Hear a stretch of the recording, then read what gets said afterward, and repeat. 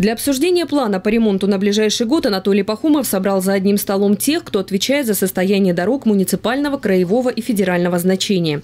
План работ, впрочем, уже составлен и утвержден. Основной акцент при его формировании сделан на внутренние отдаленные улицы.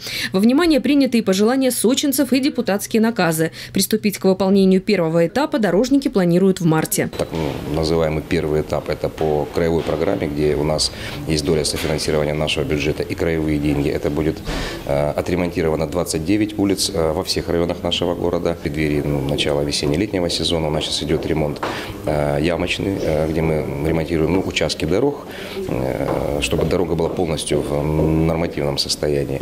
Намеченный этап должен быть выполнен в полном объеме уже в мае. Это связано в первую очередь с проведением чемпионата мира по футболу, который принимает в том числе Сочи. 25 мая в силу вступит указ президента об усилении мер безопасности в городах-организаторах чемпионата мира. Предстоящее событие обязывают подумать и о качестве запланированного ремонта.